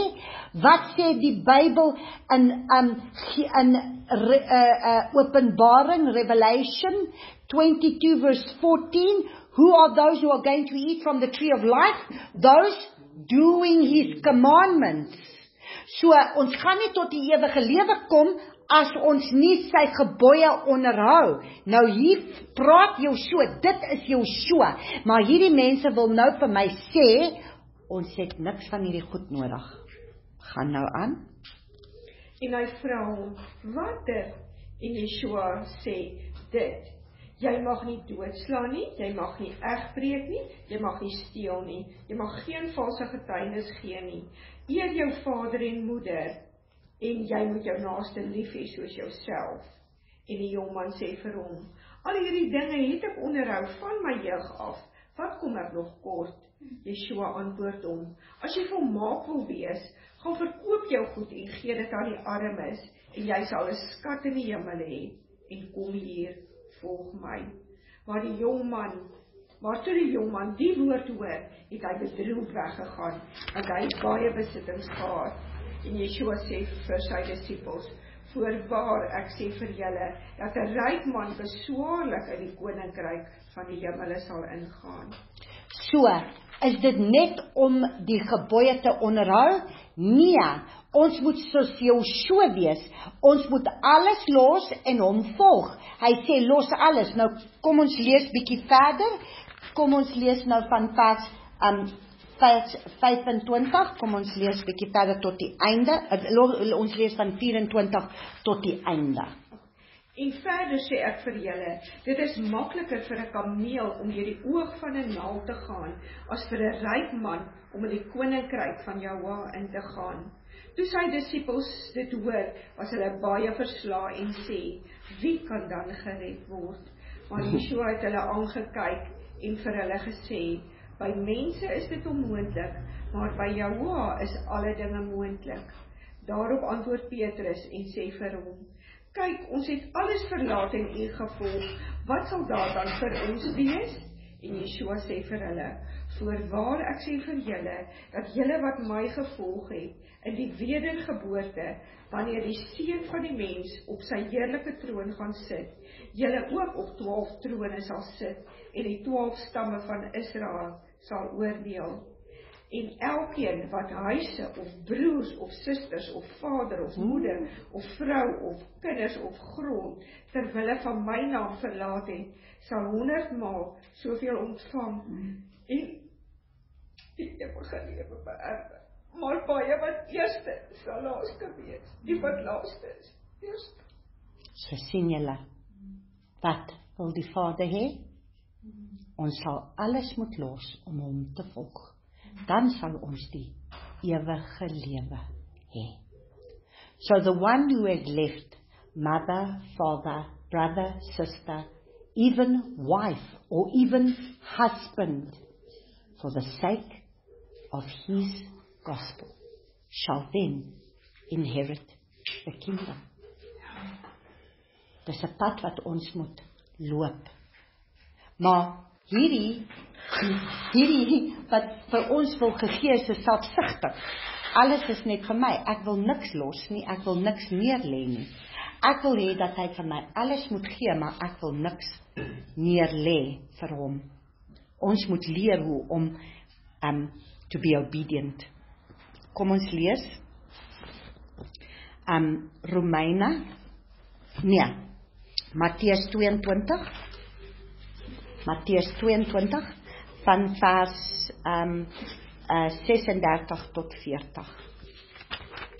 Meester, wat is die groot gebod in die wet? En Yeshua antwoord hom: Jy moet Jehovah jou Elohim lief hê met jou hele hart en met jou hele siel en met jou hele verstand. Dit is die eerste en die groot gebod. En die tweede wat hiermee gelyk staan, jy moet jou naaste lief hê soos jouself. Aan hierdie twee gebooie hang die hele wet en die profete. So nou omdat dit daar geskryf is, dan bring die mense en hulle vat nou hierdie twee en hulle sê ons het niks nodig. Ons het net hom lief om lief te hê en ons naaste. Maar wat beteken dit vir ons? Hoe gaan ons hierdie twee onderhou sonder om sy wet te verstaan? Want die eerste een is in Deuteronomy 6 vers 5. So as jy in julle ander Bybels kyk in the scriptures, dit sê daar Daardie wat hy sê, you shall love your way your Lord with all your heart with and with all your being and with all your mind. That's in Deuteronomy 6 verse 5. So dit kom van 'n fondasie. Die fondasie is Deuteronomy 6 vers 5. Dan the first and the greatest command. The second is this, you shall love your neighbor as yourself. Waarvan dan kom daarin? Leviticus 19 vers 18. Dis die fondasie. So hoe gaan ons weet hoe om ons medemens te uh, lief te hê as ons nie die fondasie lees nie? Want die 10 gebooie is gemaak van daardie twee. Die eerste een moet ons hom lief hê oor alles.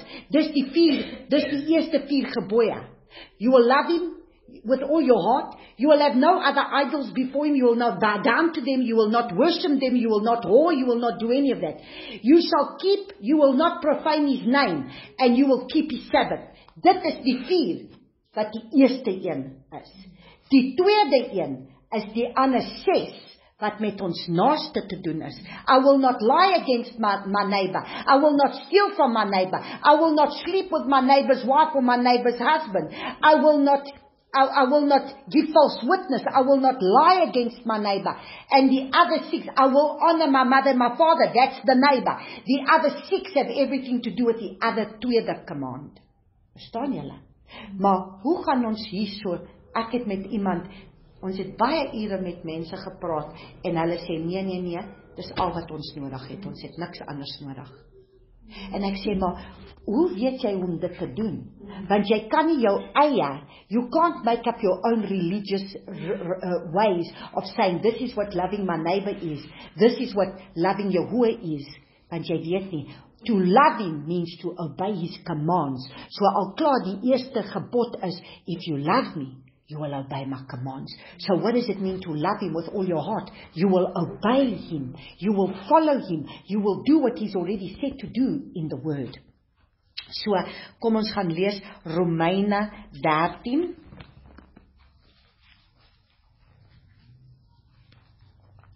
van 8 tot 14.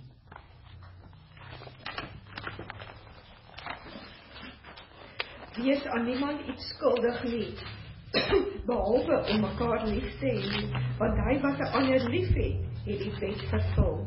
Want dit jy mag nie egbreek nie jy mag nie doodslaan nie jy mag nie steel nie jy mag nie valse getuienis gee nie jy mag nie begeer nie. En watter ander gebod ook al word in hierdie woord saamgevat. Jy moet jou naaste lief hê soos jouself. Die liefde doen die naaste geen kwaad nie. Daarom is die liefde die vervulling van die wet. Skus ek het gesê tot waar? 14. En dit te meer omdat ons die tydsomstandighede ken dat die uur vir ons reeds daar is om uit die slaap wakker te word, want die saligheid is nou nader by ons as toe ons gelowig geword het. Die nag het ver gevorder en dit is amper dag. Laat ons die werke van die duisternis aflê en die wapens van die lig aangord. Laat ons wel voeglik wandel soos in die dag, nie in brassery en dronkenskap nie, in ontug en ongebondenheid nie, nie in twis en nydigheid nie, maar beklee julle met Yeshua Mashiach en maak geen voorsorg vir die vlees om sy begeerlikhede te bevredig nie. So daar het ons dit, maar hy sê aan alles is dit vervul. Maar wat is vervul? Doen dit which it says that you are to be able to come don't the commands are written there again. Moet nie um, moenie steel nie, moenie so hy praat al klaar al die gebooie wat daar geskryf is. So um ons kan ons kan maar sê alles is vervul, maar wat sê hy? You shall not commit adultery. You shall not murder. You shall not steal. You shall not bear false witness. You shall not covet. You shall love your neighbor as yourself. Wat is alles van dit? Dis al die gebooie. Maar nou wil ons sê, ons het nie ons het niks nodig nie. Alles is gekruisig. Maar wat sê hy? Wat beteken dit om lief te hê? So wanneer hy sê, het jou naaste lief soos jouself, Wat beteken dit? Jy sal nie weet om jou naaste lief te hê as jy nie die gebooie ken nie en as jy nie die gebooie onderhou nie, want dit is hoe jy gaan lief hê. Jy het jou naaste lief wanneer jy uitloop wat die gebooie sê. Ja, en ek wil ietsie sê. Iemand het eendag verduidelik wat ook hierdie wees aan niemand iets skuldig nie. Ek het gedog, moet aan niemand geld skuld of die bank of die wat of wat nie. Maar hulle sê jy moenie eers vir iemand 'n verskoning. Jy het hom nie om vergifnis gevra nie, so jy skuld hom iets. Dit wow, dis 'n mooi manier ja, om dit te sê. Ja, so jy moet so lewe dat jy nie in die skuld is by mense om wat jy moet teruggaan en gaan gemaak reg, maar dit is wat die Bybel sê. As iemand jou verkeerd gedoen het, ja. moenie don't come and offer your sacrifice at the off at the altar knowing that your brother has something against you. Gemaak reg. Hou niemand te skuld nie. Dis mooi rose, dankie. Kom ons gaan na ons Haftorah.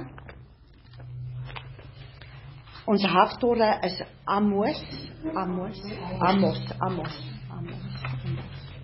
Amos 9 en ons gaan lees van vers 7 tot vers 15.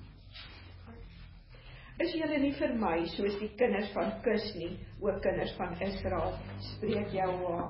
Ek het ek Israel nie laat optrek uit Egipte land en die Filistyne uit ehm um, Kaftor en die Arameërs uit Kir nie Kyk, die oë van jou oë, julle Eloa, is gerig teen die sondige koninkryk en ek sal dit van die aardbodem verdelg, maar ek sal die huis van Jakob nie heeltemal verdelg nie, spreek Jehovah.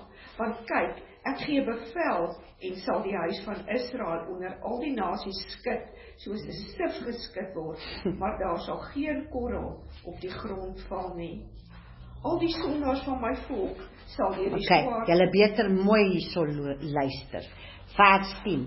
Kom dan nou uit. Ehm um, dit is in Amos. Amos is is in die profete. Dit is voor Obadiah. Amos. En dit ons moet mooi hierdie vers 10 hoor want ons is besig om hier in te gaan. In Amos 9, ons is besig om hier nou in te gaan. So in die middel van die Bybel by die profete. After John. Ja. Dis soos ja, Isaia, Ezekiel of na die groot profete. Na die groot profete. So, gaan aan, ons lees nou vers 10. Al die sondaars van my volk sal deur die swaard sterwe. Die wat sê die onheil sal oor ons sal ons nie bereik en ons ontmoet nie. In die dag sal ek die vervalle hut van Dawid weer oprig en ek sal sy skeure toebou en sy pynhope herstel en ek sal dit opbou soos in die ou tyd. Sodat hulle in besit kan neem die oorblyfsel van Edom en al die nasies oor wie my naam uitgeroep is, spreek Jahoua wat dit doen. Kyk, die dag kom, spreek Jahoua, dat die ploer die maaier inhaal en die druiwe tapper, trapper, die saadsaaier en dat die berge van mos sal drip en al die heuwels daarvan oorvloei sal wees en ek sal die lot van my volk Israel verander en hulle sal die verwoeste stede bou en bewoon. Ook sal hulle wingerde plant en die wyn daarvan drink. Die tuin en tuine aanlê en die vrugte daarvan eet. En ek sal hulle plant in hulle land en hulle sal nie meer uitgeruk word uit hulle land uit wat ek hulle gegee het nie, sê Jahoua, jou Eloah. Ek lees weer vers 10. Al die sonders en dit sondars en dit is vir al die wat die sondars is. So lees weer. Al die sondaars van my volk sal deur die swaard sterwe. Okay, so die swaard die swaard gaan kom en hulle gaan sterwe. Die wat sê die onheil sal ons nie bereik en ons nie ontmoet nie. So die mense sal sê dit gaan ons nie tref nie want ons is sy kinders. Maar hoe gaan dit nie ons tref as ons aangaan met ons sonde? Die swart gaan kom en dit gaan baie mense tref en baie mense gaan val deur die swart, die swart. Maar hy is besig om wat te doen? Hy is besig om die tabernakel te bou, die tabernakel van Dawid wat geval het and I shall repair its bridges and raise up its ruins and I shall build it in the last days. So, wat is die tabernakel van Dawid? Dit is wat ek besig is om te doen om mense te leer van die tabernakel want alles wat in die tabernakel is, sal ons verstaan, dit is ons fondasie wat daar vir ons gegee is, is die tabernakel. Nou, kom ons lees um uh, die tweede porsie van ons store porsie is in um ek ek Esegiel 20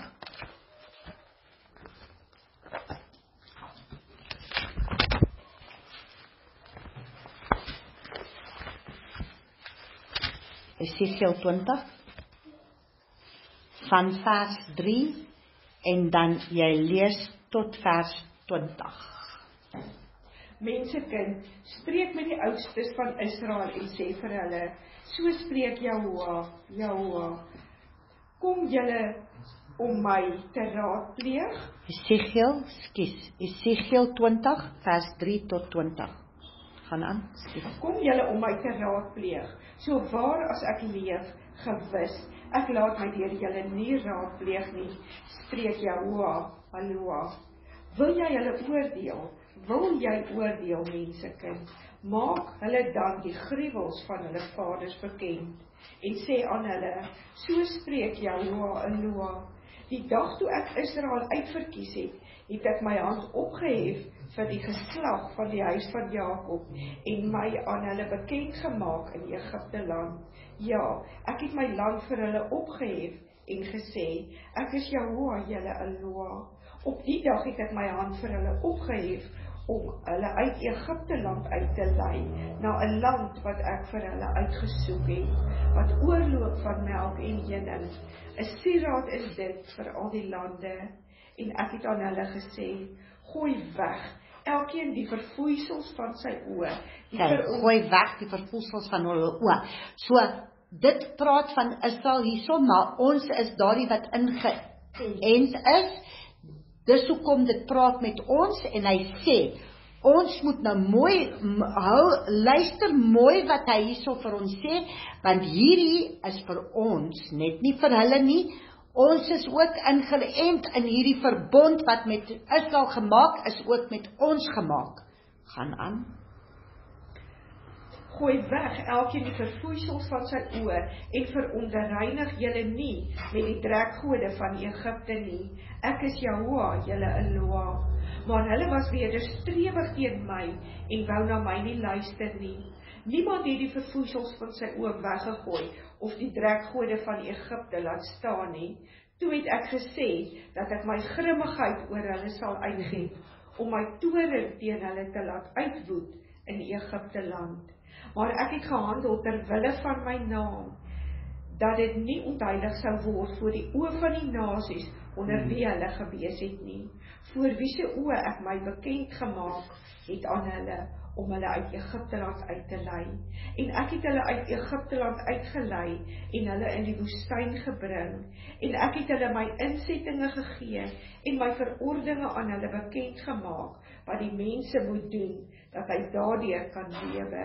Daarby het ek ook my sabbate aan hulle gegee om 'n teken te wees tussen my en hulle. Okay, so wat maak wat is die teken wat jou een van sy kinders gaan maak? Wat is die teken? Die Shabbat. Okay, gaan aan. Dat hulle kan weet dat dit ek Jahoua is wat hulle heilig. So wat maak jou heilig? Wanneer jy terugkeer na die Shabbat. Maar die huis van Israel was weer strewig teen my in die woestyn. Hulle het nie in my insettinge gewandel en in my veror en my verordeninge verwerp wat 'n mens moet doen dat hy daardeur kan lewe en my sabbate het hulle baie ontheilig. Toe het ek gesê dat ek my grimmigheid oor hulle sal uitgiet in die woestyn om hulle te vernietig. Maar ek het gehandel ter wille van my naam dat hulle dit nie ontheilig, dat dit nie ontheilig sou word voor die oë van die nasies voor wie se oë ek hulle uitgelei het nie. So het ek dan ook my hand vir hulle opgehef in die woestyn dat ek hulle nie sou bring in die land wat ek aan hulle gegee het nie, wat oorloop van melk en honing. 'n Sieraad is dit vir al die lande, omdat hulle my verordeninge verwerp en in my insettinge nie gewandel het nie en my sabbate ontheilig het, want hulle hart het agter hulle trekgode aangeloop. Is dit wat ons besig is vandag om te doen? Vandag ons noem onsself hulle kinders, sy kinders, maar ons is besig om dieselfde goed te doen. So net soos hy hulle hoe het hulle met sy goed gewandel en wat het hy gedoen? Hy het hulle afges he, afges, he, he, he, he judged them So what do you think he's going to do to us that call ourselves by his name and we don't do this either? Okay? Gaan aan. Maar my oog het hulle verskoon sodat ek hulle nie verdelg het en geen einde aan hulle gemaak het in die woestyn nie. Maar ek het aan hulle kinders in die woestyn gesê: "Wandel nie in die insettinge van julle vaders nie en onderhou nie hulle verordeninge nie en verontreinig julle nie met hulle dreggode nie. Ek is Jahoua, julle Eloah. Wandel in my insettinge en onderhou my verordeninge en doen dit." En heilig my sabbate en hulle sal 'n teken wees tussen my en hulle tussen my en julle dat julle kan weet dat ek Jahoua julle Eloah is. So in Israel nou, wanneer is die Sabbat? Die Saterdag wat hulle nou wat het gebeur die dag wat hulle nie die Sabbat onderhou, wat hulle besig was met daardie ding in die woestyn? Hoeveel van hulle het geval omdat hulle nie die Sabbat onderhou? Daar was 400 ietsie van hulle wat geval het. OK, gaan aan. Maar die kinders was wederstrewig teen my. Hulle het nie gewandel in my insettinge en my verordeninge nie onderhou om dit te doen nie, want die, wat die mens moet doen dat hy daardeur kan lewe. Hulle het my sabbate onheilig. Toe het ek gesê dat ek in my grimmigheid oor hulle sal uitgiet om my toren te laat uitwoed teen hulle in die woestyn. Mm, so sien julle. So ons moet verstaan dit wat hy aan hulle gedoen het en dit is sy mense en ons is in daardie verbond ingeënt. So ons moet nou terugkeer na die waarheid. Nou ons gaan klaarmaak met um hierdie skrif het my vandag so gebless. O, as ek ooit 'n geskrif gekry het, uh, Handelinge, Acts, Handelinge, Handelinge. Handelinge 15. Julle gaan vandag hier vandag gaan julle nou 'n revelation kry vandag. Um Ons gaan lees van vers ehm um, uh, uh, Handeling Handelinge 15 van vers 14 tot vers 21. Simeon het vertel hoe Jahoua in die begin uitgesien het om 'n volk uit die heidene vir sy naam aan te neem. OK, so hy moes 'n volk gaan kry vir sy naam. Hulle moet mooi hierso lees want hierdie is die is is the is the same scripture as Amos. Kom ons gaan aan. En hiermee stem die woorde van die profete ooreen, soos geskrywe is: Daarom sal ek terugkom en die vervalle hut van Dawid weer oprig, wat ek um uh oprig en wat daarvan verwoes is, sal ek weer oprig en herstel, sodat die oorblyfsel van die mense Jahwa kan soek en al die nasies oor wie my naam uitgeroep is. My naam uitgeroep is. Wat se naam? Al die nasies aan wie my naam uitgeroep is. Okay. Spreek Jahwa wat al hierdie dinge doen.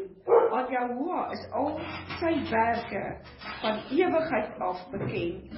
Daarom oordeel ek die Daarom oordeel ek dat ons die wet uit die heidene dat ons die wat uit die heidene hulle tot Jahwa bekeer nie moet bemoeilik nie maar aan hulle skrywe dat hulle hom moet onthou van die dinge wat deur die afgode besoedel is en van moedery en van wat verwrig is en Okay, van so wat sê hy? Hulle die nasies kom nou, toe sê hy vir hulle, dis die vier goed wat julle moet doen. Um that among the nations in verse 19 it says and I judge that we should not trouble them among the nations who are turning to Jehovah. So hierdie mense was besig om terug te draai na Jehovah en sy ordene. Maar wat het hy vir hulle gesê? Okay, laat ons vir hulle nou net sê die vier goed wat hulle doen. Abstain from defilement sê weer weer vers 20. maar aan hulle skrywe dat hulle hom moet onthou van die dinge wat deur die afgode besoedel is en van hoedery van hoerery, so bly, bly weg van die afsoedel van die van die afgode wat besoedel ja, dan die hoerery, dan en van wat verwrig is en en van bloed. en die bloed. Die bloed wat wat in die lewe is. Want dit is die vier goed.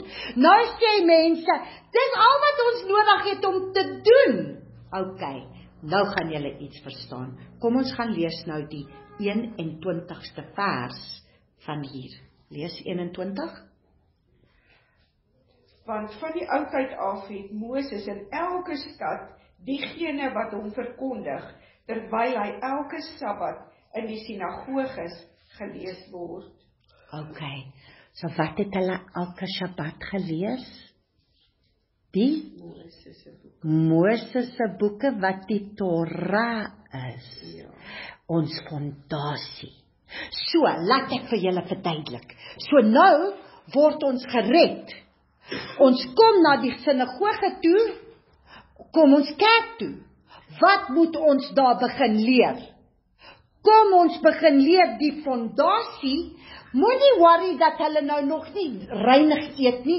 Moenie worry dat hulle nog nie die feeste doen nie. Moenie worry dat hulle nog nie die Sabbat onderhou nie, want terwyl hulle nou besig is om elke Saterdag Moses se boeke te lees, gaan hulle tot die waarheid kom en hulle gaan begin in dit wandel, want hulle sal weet die waarheid. Dit is ons fondasie. So wat is hierdie hele ding wat hy sê? Because look, verse 14, Shimon, Shimon has declared how Alua visited the nations to take out of them people for his name. So hy's nou besig in die nasies om mense uit te vat, die uitgekorende, Uitverkore. uitverkorende uit te vat vir wat? Om hulle nou sy naam op hulle te sit en hulle kom keer ook terug na die waarheid because he's going to raise up a booth so that the remnant of mankind shall seek his face. What are the generation that will seek his face? This generation of Jacob wat sy aangesig sal sal kyk in Psalm 24 daardie wat wie is die ene wat mag die berg klim? Die met skoon hande reinige hart. The generation that will seek his face clean hands and a pure heart this is the generation that will seek his face en wat sal hulle doen as hy aangesig soek wat sal hulle doen? Kom terug na die fondasie wat vir ons gegee is. So hy sê, kom ons lees weer in vers 21, lees weer, want dit is wat ons moet verstaan wat besig. Want van die ou tyd af het Moses in elke stad, elke stad, diegene wat hom verkondig terwyl hy elke Sabbat in die sinagoges gelees word. So Moses is gelees elke Sabbat in die sinagoge. En dis hoekom hy sê moenie oor hulle bekommer nie want as hulle elke Sondag hulle word gered hulle kom sinagoge toe. Wanneer hulle sinagoge toe kom begin hulle Moses se boeke te lees en dan het hulle fondasie om te weet wat is reinig wat is nie reinig wat mag ons eet wat mag ons nie eet wat gaan ons reinig doen? Maar weet jy wat? Waar trek ons vandag? Is dit wat gedoen is? Waar is ons fondasie? Ons het nie een nie. So waar is ons? Ons is waar? Dit sê nou en ek sluit uit met hierdie skrif in Lukas Lukas Lukas 5. En Lukas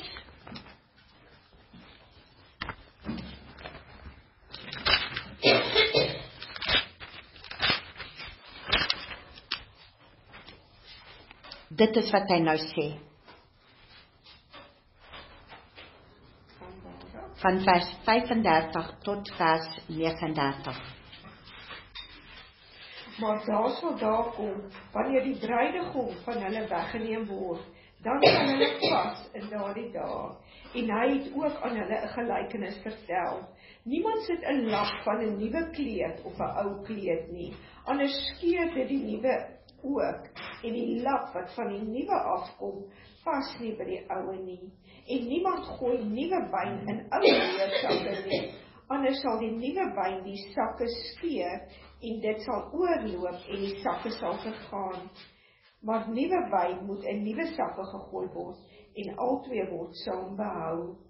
En niemand wat ou wyn gedrink het wil dadelik nuwe hê nie want hy sê die oue is beter so waar's ons vandag Abba probeer ons terugkeer na die fondasie wat ons moes gehad het. Maar wat wil ons doen? Ons sê ons hou aan die ou ding want die ou ding is beter. Dit is wat my wat wat, wat word vir julle altyd gesê, maar ons voorvaders het dit so gedoen. Dit het so, ons het dit so gedoen, ons het kerk so gedoen, ons het alles so gedoen. Hy sê nou, Hy bring 'n nuwe orde. Wat is die nuwe orde wat hy bring? Hy sê julle moet terugkeer na die ware. Hy het nou die Gees gebring om 'n nuwe ding te doen, om 'n nuwe fondasie te bring. Maar wat gaan die mense sê wanneer ons nou die nuwe ding gaan bring? Wat gaan hulle nou sê? Ons is in Matteus 5 en ons is ons het gelees van vers um 3 van vers 34 tot vers 39. Maar wat sal die mense sê? Die ou is beter. Want wat doen 'n mens? As die Vader 'n nuwe ding met ons wil spreek, soos nou, ons is in die tyd van die nuwe ding wat hy wil doen. Hy bring nou die orde wat moet reggestel word. Maar wat gaan die mense sê? Maar die ou wyn is beter want ons het die ou wyn geweet. Ons het die ou wyn geken. Maar dis nie die regte fondasie nie. En dis hoekom elke keer as ek hierdie as ek hierdie waarheid vir mense moet bring, weet jy wat hulle vir my sal sê? Maar dit was nie so gedoen nie. Ons is tevrede om dit te doen soos wat dit gedoen is. Maar dit is nie die orde nie. Ons moet terugkeer na die orde. En wat was elke Sabbat gelees? Wat het Joshua gelees wanneer hy opgestaan het? Hy het Jesaja, Asaja 61 van elk elke Sabbat het hulle die profete gelees en die en hy het opgestaan wanneer die tyd was om die profete te lees. So hy het um he had to read Isaiah chapter 61. Dit was die porsie wat hy moes lees. Maar elke Sabbat in die sinagoge het hulle Moses gelees want dit is in die Bybel geskryf. Maar nou het ons nie 'n fondasie nie want dit word nie eers gelees nie want dit is nie belangrik nie.